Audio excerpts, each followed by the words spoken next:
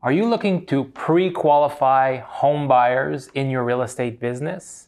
If you are, you've come to the right spot. I've got five amazing questions that you can ask new buyer prospects in order to understand where they're at in the home buying process.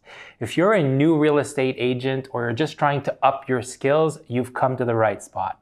On this channel, I give advice to real estate agents on how to improve their real estate career and how to get their real estate career off on the right track. My name is Marty Clement. I've been selling real estate for the past 15 years. In those years, I've had the chance to work at every single level of real estate, working on the administrative side as a solo agent and a team leader, doing over a million dollars in GCI for multiple years. Now I like to coach agents just like yourself that are looking to improve their career. Like I said, if you're new here, make sure you subscribe to the channel. So let's get right into it. I've got these five amazing questions that you can ask new buyer prospects. And at the end, I'll have a bonus sixth question that you can ask. So number one is a very interesting question and it serves a couple of purposes. So it's one question, but you know, it could qualify as two because it's going to give you two pieces of information. So these buyer leads are buyer leads that you've never talked with before. They're either inquiring on a ad that you've got out there or somebody might have referred them to you saying, call these guys or, you know, these people, they want to buy a house. So the question you want to ask them is, are you looking at any other pieces of real estate? So if they're calling you on one of your listings and they say, we would like to see this property, ask them if they've looked at other pieces of real estate or if they want to look at other pieces of real estate other than the one being currently discussed. That means that you'll get a few pieces of information. They'll tell you if they're specifically interested in, in this property, if they are good. If they're looking at other pieces of real estate, they might be looking at it with other real estate agents. And that'll give you a very good indication if they're working with other real, realtors. So if they said, yes, we've looked at other properties, you can ask them, well, are you under a buyer agency with any of those agents that you saw the property with? If they are, I would recommend that you not spend that much time with these buyers because if you go show them a place and then they tell you two weeks or you know a month down the road, oh, we ended up buying a house with our agent, because they've got a buyer agency with another agent, well, you've essentially wasted your time and you know their time also because they could have seen any property that they want to see with the realtor that they will eventually buy a property with. So asking this question can save you lots of headaches. It could save you lots of time. If they're not working with any other agent, great. Go and form a relationship with them. Go show them the property and then you might become their agent of choice. So that would be good. And when they transact, they'll transact with you. Number two, have you locked in your interest rate? That's question number two. This question is a way for you to ask, have you spoken with the bank? Or are you, uh, are you able to purchase this property? People get really weirded out. Sometimes I would even say offended when you ask them, well, can you afford this house? And there's different ways of asking this question to make it, you know, more enjoyable for the buyer to, to answer truthfully. So saying to a buyer, have you locked in a rate yet? that's, that's sort of a sneaky way of, you know, making them feel comfortable about talking about their finances because eventually if they they buy a property that's worth multiple hundreds of thousands of dollars, you know, they will need to have the means to purchase that property. Locking in a rate with a bank or a mortgage broker is something that you do once you have a pre-qualify uh, application for a mortgage with a bank.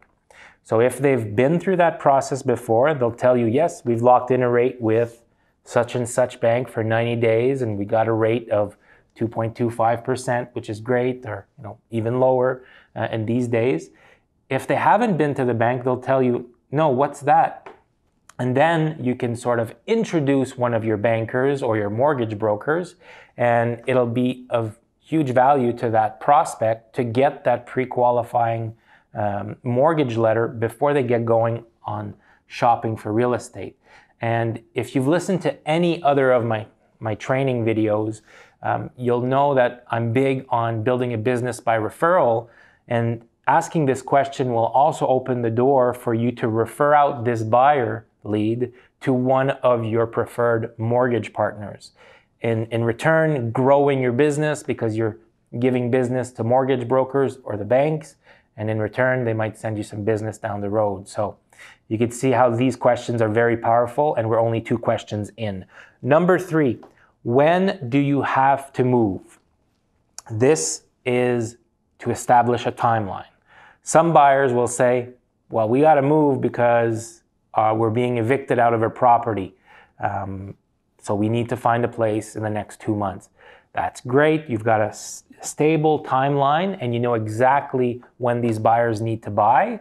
So that'll give you a very good idea of you know how urgent this is and you need to take care of these buyers right away. They're very very um, you know they're, they're very excited to buy so this is great. It could be an eviction. It could be we have to buy before august uh, 25th because the kids are starting in school in september. Or we have to find a, a house in the next three months because i'm starting a new job in you know this area or wherever. If buyers are saying anything like that that they have to buy because of, that's great. That's the best type of buyers. They've got a timeline and you can help them find a place. They're motivated. If they say, well, we don't really know, we're just looking, that's okay also. It's fine. You know, a lot of times when I've bought properties in my life, it's been, well, we're just going to go look. If it works out, it works out. If it doesn't, it doesn't.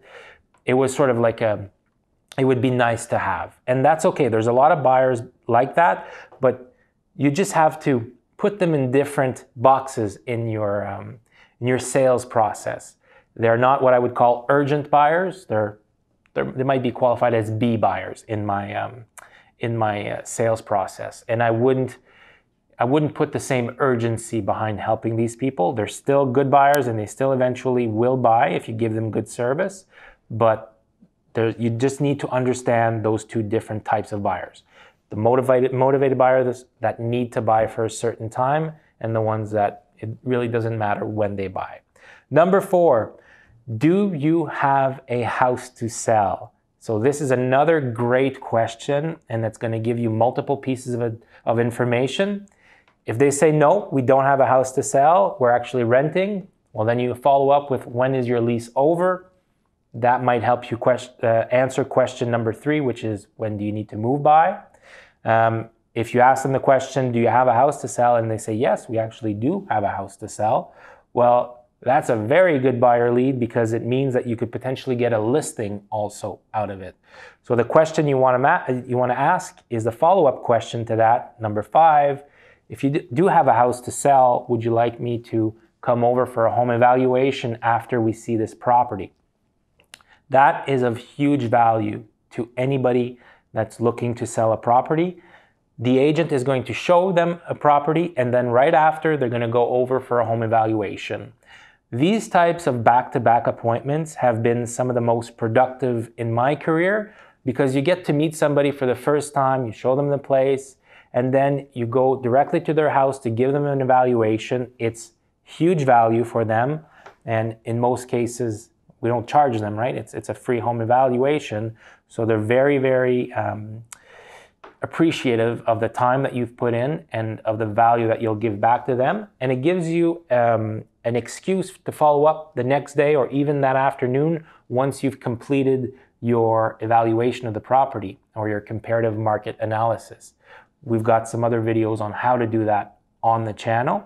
But that question, number five, do you have a house to, uh, sorry, number four, do you have a house to sell? Followed up with, if they say yes, would you like a home evaluation?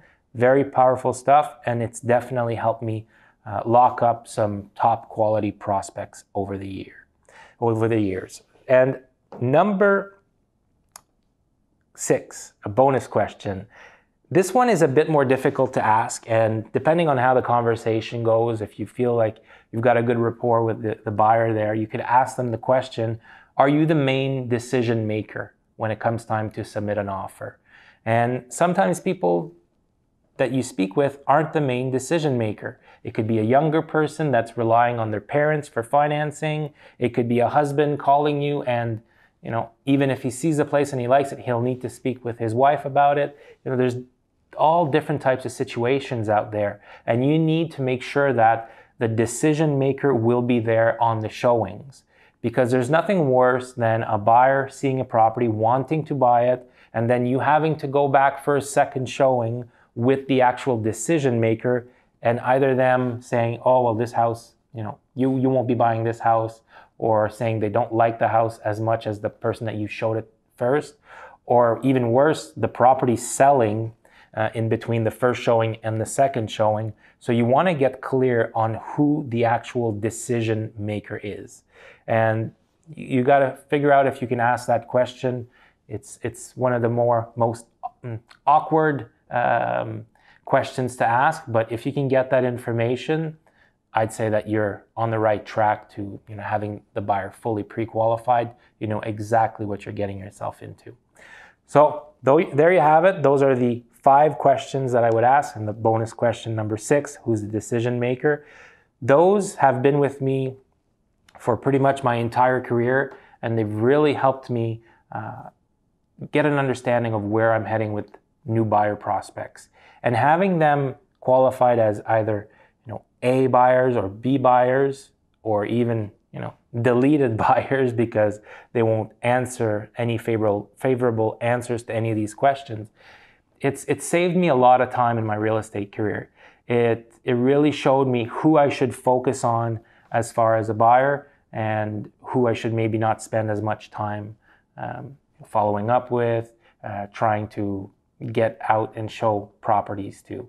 So I hope these helped you. And like I said, if you guys are new to the real estate industry or you're looking to improve your sales career, check out my channel. There's tons of good content on there. I try to put uh, new pieces of content out every single week.